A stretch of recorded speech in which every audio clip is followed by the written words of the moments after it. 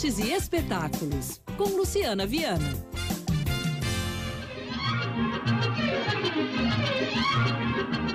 Tempos Modernos de Chaplin ganha uma sessão com trilha sonora tocada ao vivo por orquestra.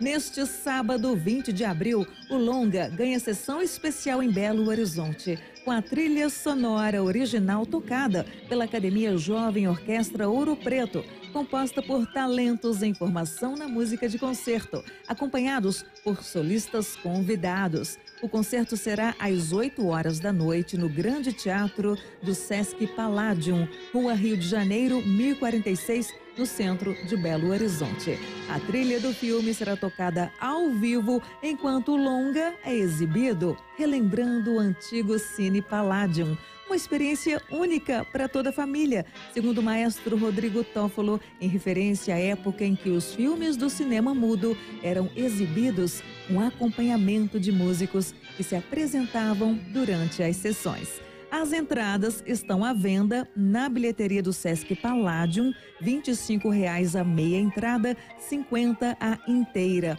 ou também pela plataforma Simpla é só se programar e se divertir.